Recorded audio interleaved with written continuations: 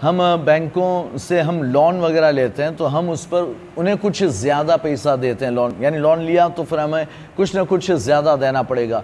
तो ये लोन लेने की इजाज़त हर किसी इंसान को नहीं है कि हर कोई बंदा जो वो लोन ले और अपना काम चलाए। ये हर एक को इजाज़त नहीं है। लोन सिर्फ़ वो बंदा ले सकता है जो बहुत ज़्यादा मालदार हो।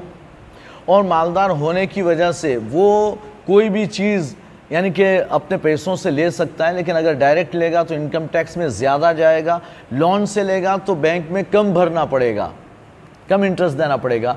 तो वो ज़्यादा को बचाने के लिए, यानी मिसाल के तौर पर अगर डायरेक्ट अगर लेता है तो टैक्स में इनकम टैक्स में उसे मिसाल के तौर पर पचास हज़ार भरना पड़ता।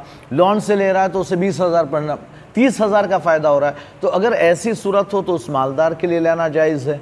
अपना माल बचाने के लिए, या फिर ये कि बहुत गरीब बंदा है, बहुत गरीब बंदा है कि उसके पास कोई यानी कि ऐसा सोर्स नहीं है कि वो किसी से पैसा ले। आजकल लोग कर्जा भी नहीं देते।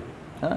तो कोई बंदा फिसबिल्ला कर्जा दे दे कि तेरे पास जब आए तो वापस दे देना। ऐसी सूरत भी नहीं है। उसे कारोबार करना, या मकान लेना, या कोई कारोबार के लिए गाड़ी ख़रीदनी है, या अपने आने जाने के लिए गाड़ी ख़रीदनी है और उसके पास इतना पैसा नहीं है तो वो अगर लेना चाहे तो वो यानी कि इंटरेस्ट पर लोन ले सकता है। मोबाइल लेने के लिए भी ले सकता है, लेकिन यूँ ना ले कि भाई, हमारे पास पंद्रह हज़ार का तो मोबाइल है। हमको थोड़ा सा हाई फाई चाहिए।